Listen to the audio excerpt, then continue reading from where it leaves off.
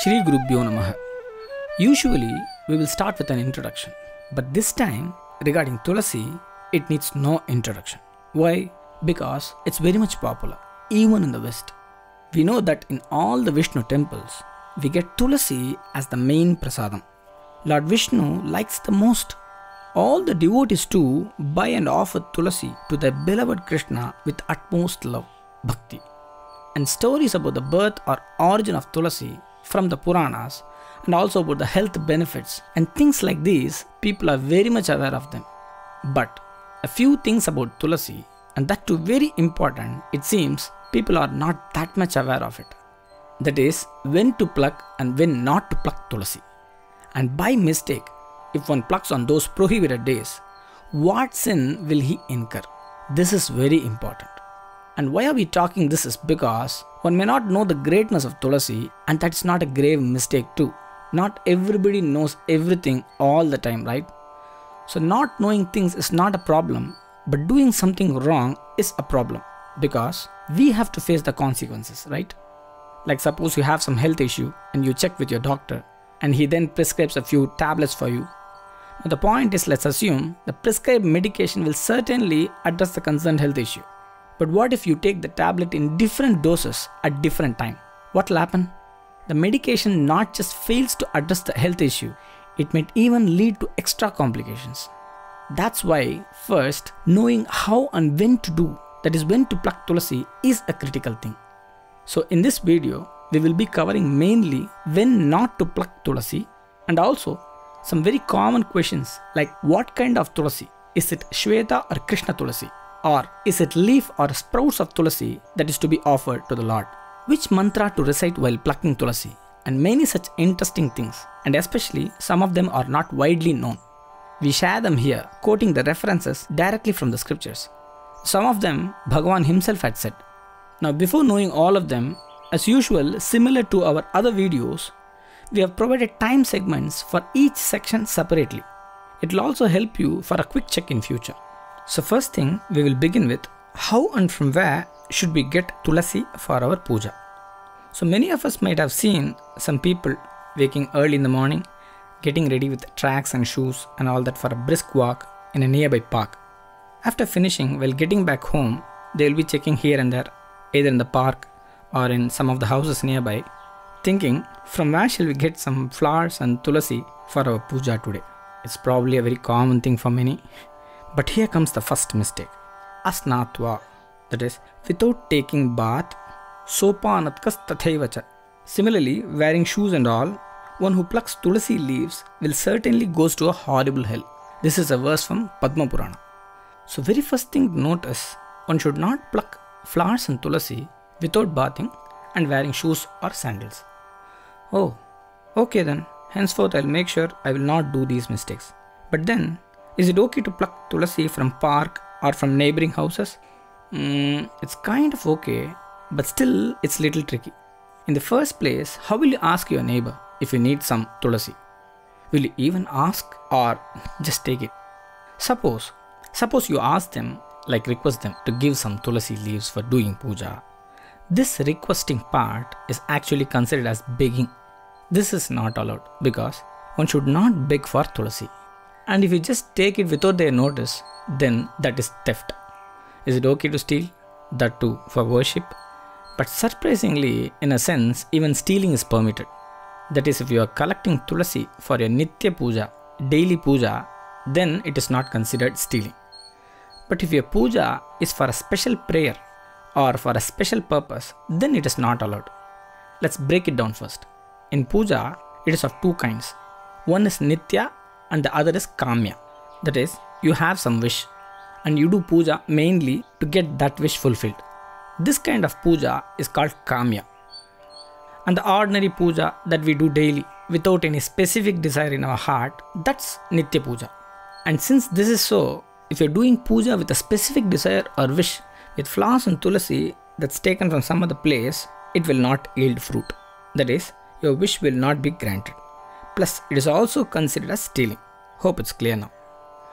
And now some may think it seems the only best option left out is to simply buy tulasi and offer it to the Lord. why to make much fuss about all this? Easy peasy, right? But you know what? Even this option is also prohibited in the Shastras. You should not buy flowers and tulasi and use it for worship purposes. Unless there is no option at all to procure tulasi, in the worst case, one may buy them. But that too with money earned through proper dharmic means. And if you just pause for a moment and think, what are we doing here? Asking somebody or buying them for money and thinking if our prayers will work or not? Should we do all these silly things for just few tulasi leaves? Instead, how wonderful will it be to just grow a beautiful tulasi plant in a small pot and then offer it to our beloved Lord?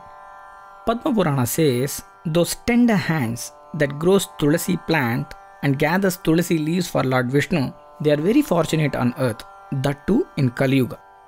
Also in Skandam it says, one who plants this extensively beneficial tulasi plant in his house, he will never have to face poverty and let there be no doubt regarding this. Do you know how many Puranas talk about the great merits of planting or growing a single tulasi plant in one's house? Narada Purana, Brahma Vaivarta, Vishnu Dharmotra, Garuda Padmam, Skandam, Shiva Mahapuranam, Devi Bhagavatam. So you see, one can find so many references about these in these scriptures.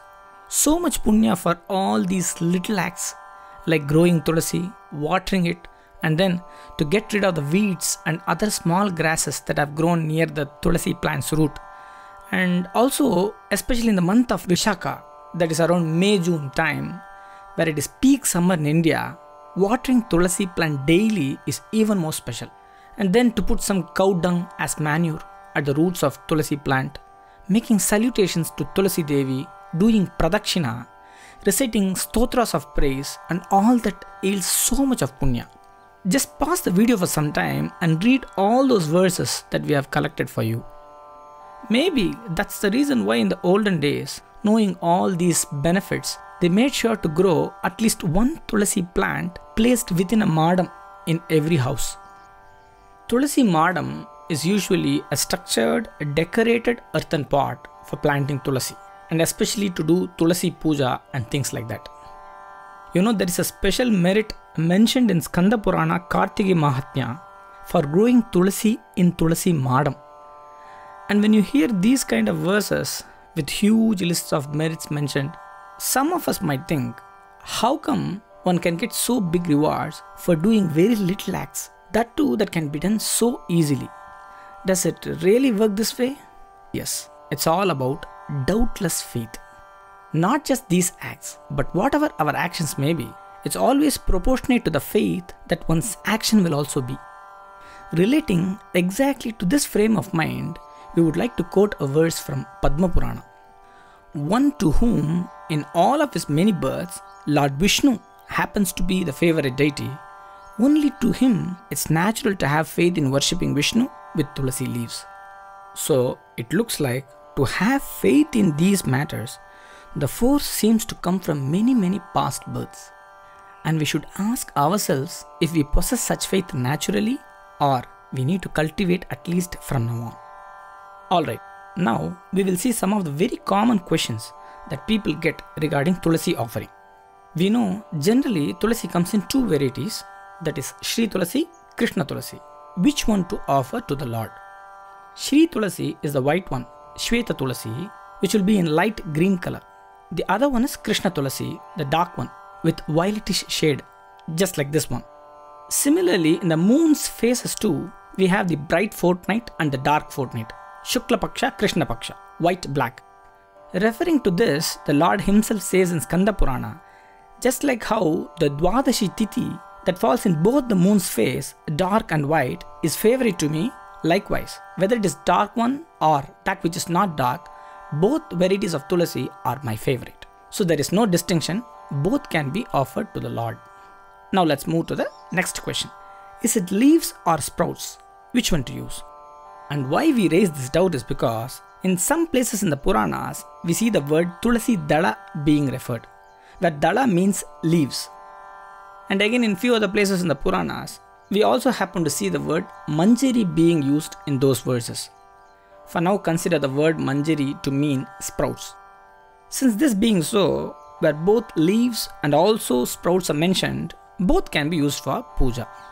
But an added note regarding the word manjari, which literally doesn't mean sprouts, but the young tender flower, not the dried one, but like this. It has got a very good aroma.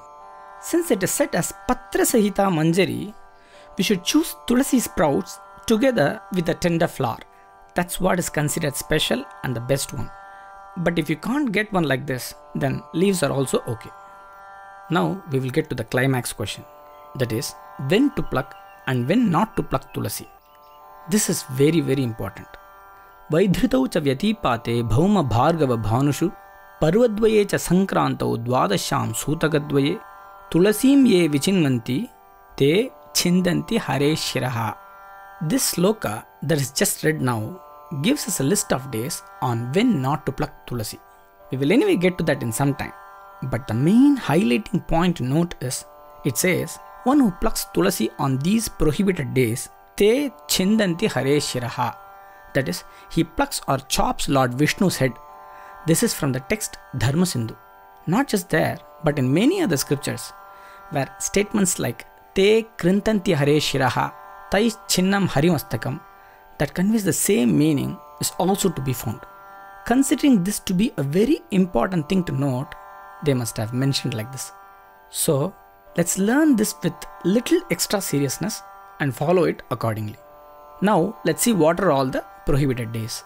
In weekdays, Bhauma Bhargava Bhanushu, that is Tuesday, Friday, and Sunday. One should not pluck tulasi. In the tithis, that is in the moon's phases, Amavasya, Paurnami, Dwadashi, new moon, full moon, and the 12th phase of the moon should also be avoided. Next comes Sankranti, sun's entry day into each zodiac, Rashi, like Mesha, Vrishabha, Mithuna, right? In other words, according to the Tamilian's calendar, first day in every month should be avoided. Tithi, Vara, Nakshatra, Yoga, Karana. These five put together is called Panchanga, the Vedic time system. In this, we have already covered Tithi and Vara, that is, moon's phase and weekdays. Now comes Yoga. There are totally 27 yogas, and in that, only two should be avoided. That is, Vaidhriti and Vyatipata. And yes, we can sense it. Some of you should be feeling a little dizzy since things are getting slightly over the head as the list grows slowly, right? But you know what? If you want something or to attain something, you have to take some effort. Apply yourself. Only then you'll be able to get that result. Also, just pause for a moment and think how many of us know the simple Panchanga details for today? That is, what's today's Tithi or Nakshatra? Maybe you should start to know it at least from now on. And it is so simple too. Nowadays, you can find these details freely available in many apps, websites. Also, one can very easily access these details in the wall hanging daily calendar at home. And just by knowing what's today's Tithi Nakshatra, that is daily Panchanga itself, will earn you great punya like Dirgha Ayuhu, long life, good wealth, etc. Maybe because Kali's effect in this yuga, that one should not earn punya that easily it seems like that's the reason why majority of the people don't have faith and take effort in these simple matters. But we will anyway learn them. And certainly it's not a rocket science to find it that hard. Okay, let's move forward.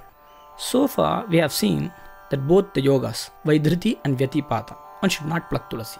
Next, Manvadi and Yugadi should also be avoided. Let's not go much into the details, just consider a set of 18 days that falls on every year. 14 days for 14 Manus and 4 days for 4 Yugas. Totally 18 days should also be avoided for plucking Tulasi. That's it. The list of prohibited days are covered. But you should also know when not to pluck, that is, regarding timings. One should not pluck Tulasi after the noon, and also not during Sandhya time, that is, during both the twilights. And also, night time should also be avoided. Having applied oil upon oneself, one should not pluck Tulasi. Also during Ashocham or Tit, that is, according to the Shastras, on few occasions like birth of a child or death of a close relative, we are considered unclean and also sometimes mentally disturbed. So in those days too, one should not pluck tulasi. That's it. It's over. What? You mean that's all? With so much of restrictions piling one after the other, we are in doubt as to when we can actually pluck tulasi. Yeah, we heard that. But your doubt and question seems to be valid one because if we do puja to our beloved Krishna daily, then we will have to get tulasi on a daily basis, right? In fact, there is a special Vrata puja called Laksha Tulasi Puja, where one has to start this puja in the month of Kartika and worship Lord Vishnu with a thousand tulasi leaves for three months daily. And when you have such pujas prescribed by the scriptures itself, you will have to pluck tulasi on a daily basis, right? With so much of prohibitions to pluck tulasi are already listed out, how could we even observe these vratas, right? Even for such cases, we have solution given by the Shastras. Old ones are that which is used at least once should not be used again. That is, they refer this classification into two categories. One is Paryushitam and the other is Nirmalyam. Generally, whether it is flowers or even water that is brought a day before is not usable for puja the next day. It is considered old or Paryushitam, not fresh. But just like Ganga Jal or the Ganges water, Tulasi is also considered sacred always. It is not considered to be Paryushitam or it is not considered old at all. Similarly, the flowers that is already decorated upon the deities, that which is brought in the left hand, or that which is brought in the worn dress or in dress below waist, and also those washed in water, in all these cases, those flowers should not be used again. But Tulasi is not so, you can use it again. Though we get to know from scriptures that one can use Tulasi that is plucked 6 or even 10 days old, there are even more supporting statements to say that specially Tulasi alone can be used how many ever times you may want.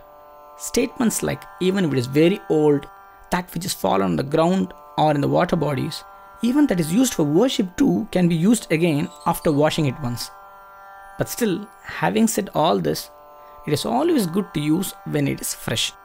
The more your effort is, the more you are devoted to all these disciplines, rules, and regulations, you can see for yourself that bhakti towards Krishna grows in you. So do it with love and passion. Plus, just think if you keep plucking tulasi leaves daily, what will happen to the plant, to Tulasi Devi? How much more she can bear all this? Alright, we will also cover some of the exceptions to the list. We have already said that on Amavasya one should not pluck tulasi, right? But if it is only for worship purpose and not for medicine or other reasons, then it is okay to pluck tulasi on Amavasya too. Also, in the worst case, you can also buy from flower shops. To dive deep into these matters, you may also check the link in the description. Among all the checklist, Dwadashi is very very important. At any cost, one should never pluck tulasi on Dwadashi Tithi, which is the next day after Ekadashi Tithi. But if you say, oh god, I must have plucked tulasi on many such Dwadashi Tithis unknowingly all these days, what should I do now? If a child watches the father doing puja and tries to imitate him by offering flowers, but in left hand, what would the god do? Will it accept the offerings or punish? And suppose even after growing up as a man, if you still do this childish mistake knowingly, then what? So all it matters is it is considered a mistake only when you do it purposefully. This we should keep in mind and nothing to bother. So by now we should be knowing something about Tulasi. Oh no, that's not the right word. Actually, we know way better and more information regarding how to pluck Tulasi than before. That's a good thing, right? But we are actually plucking Tulasi to offer it prayerfully to our beloved Lord Vishnu. So the main bhakti element itself is missing in this discussion so far. And we'll also see what's that now. That is, as usual, waking in the morning, after taking bath, without sandals, and before noon. Why are we reiterating this is because nowadays, for many of us, our work shift timings vary drastically, right? And because of that, waking time itself is now around 11 or 12. So just keep in mind regarding the plucking time, considering the practical difficulties, and also to stress on the ritual's importance, we are pointing it out again. Alright, now going near Tulasi, one has to do namaskara, do pradakshina, recite a stotra, and only then you have to pluck the leaves. And for that, there are many beautiful Tulasi stotras available. And especially, there is a short and sweet 8 names of Tulasi, which itself can be considered as stotra. Maybe we can collect all these and make a separate video on this. But for now, considering everybody's mindset, we will share here a small Tulasi Namaskara mantra, and this can also be considered as a stotra. यन्मूले सर्वतीर्थानि यन्मध्ये सर्वदेवताः यदग्रे सर्ववेदाश्च Tulasim Tvam Namamyaham. That's all. It's a very small one. The meaning of this mantra is this in whose root resides all the holy tirthas, and in whose middle portion, that is in the branches, resides all the deities, the gods, and in whose tips resides the whole of the Vedas. To that holy Tulasi, I offer my prayerful Namaskara. With this prayer, do Pradakshina three times and then pluck the leaves. Now, mantra to recite while plucking Tulasi. ತುಳಸ್ಯಮೃತ sambhute ಸದಾ ತ್ವಂ priye keshavartham ಕೇಶವಾರ್ಥಂ ಲುನಾಮಿ ತ್ವಾಂ ವರದಾ ಭವ ಶೋಭನೆ आराधनार्थम पुरुषोत्तम से लुनामी पत्र तुसी क्षमस्व। O Tulasi Devi you who is always very dear to Lord Keshava Krishna and was born out of Amrita only for the sake of worshipping Lord Keshava the supreme Lord Purushottama I am plucking you so please don't be sad but be cheerful also please forgive me for this act of plucking and kindly extend your bountiful grace upon me You can say this or there is a couple of verses in Padma Purana having very similar meaning. There it says, after reciting those two verses, you have to clap twice and then pluck the leaves. Very interesting to know these customs, isn't it? Not sure if this custom is still in practice. But when you share these kind of things to those who have faith in these matters, it will inspire them in a big way. Also, it will yield you great merits, punya. Finally, when you pluck the leaves, make sure you don't shake or break Tulasi branch. If you accidentally do so, then Tulasi's Lord Vishnu's heart gets hurt by this act. See how intricate we are getting into just for plucking Tulasi? So it's not that easy to simply pluck and offer Tulasi to the Lord. But at the same time, if you are taking things seriously to learn all this and do it religiously with faith, then you are sure to get the result. So pluck Tulasi with tender hands and worship our beloved Krishna with love, bhakti. May Lord Vishnu's blessings and Tulasi Devi's grace be upon us forever. Gopika जीवनस्मरणं Govind Govind